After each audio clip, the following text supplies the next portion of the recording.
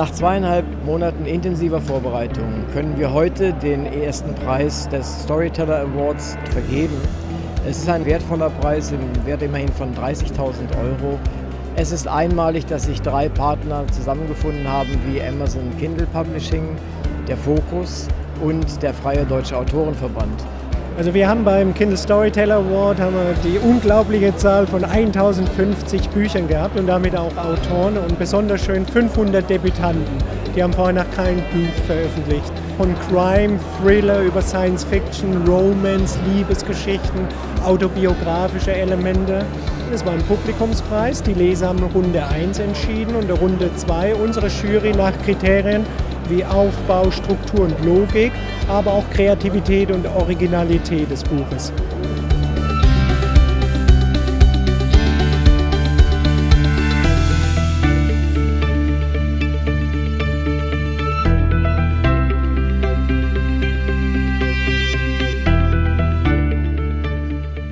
Wir hatten eine sehr interessante Diskussion über den letztendlichen Sieger und wir haben es uns nicht leicht gemacht. Also gewonnen hat äh, Paradox von äh, Patterson und was mir besonders gefällt ist, er erzählt gekonnt eine Geschichte, eine Science-Fiction-Geschichte, die morgen spielen könnte, nicht im Jahr 2500, sondern morgen.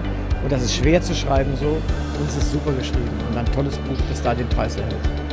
Ich weiß gar nicht, was ich sagen soll. Ich bin total überrascht, ich bin perplex, äh, ich bin baff. Eigentlich bin ich Raumfahrtingenieur, aber ich habe mir ein Jahr Auszeit genommen, um mal ein Buch zu schreiben.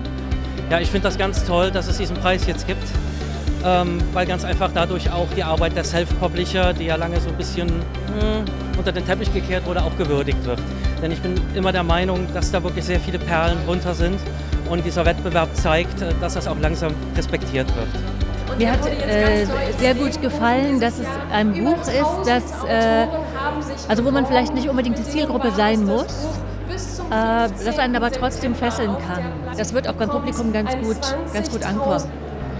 Fokus hat sich entschlossen, bei diesem spannenden Projekt mitzumachen, weil wir einfach unglaublich neugierig waren auf das, was sich ähm, unterhalb dieses typischen Buchbetriebsradars an Erzählformen und an Geschichten in Deutschland und im deutschsprachigen Raum finden lässt. Das wollten wir ganz gerne herausfinden und wissen. Und deswegen ähm, sind wir sehr, sehr froh, dass so viele mitgemacht haben bei diesem Wettbewerb. Auch viele, die vielleicht vorher noch gar nicht geschrieben haben, sondern erst jetzt durch den Wettbewerb die Lust und, und das Bedürfnis überhaupt erst entwickelt haben zu schreiben. Wir freuen uns natürlich, dass wir mit Kindle Direct Publishing eine Plattform haben, die super einfach ist, kann man das Buch hochladen und Millionen Lesern zugänglich zu machen. Und das haben wir hier schön geschafft mit dem Wettbewerb. Und das Feedback, was wir gekriegt haben, sowohl von Lesern als auch Autoren, ermutigt uns, dass wir auch nächstes Jahr in 2016 wieder den Kindle Storyteller Award haben. Also ich habe eigentlich nur einen einzigen Rat an Autoren, schreib ein Buch. Das ist die größte Hürde. Viele fangen ein Buch an und meinen dann, sie sind nicht gut genug. Und der erste Schritt zum Erfolg ist ein Buch schreiben.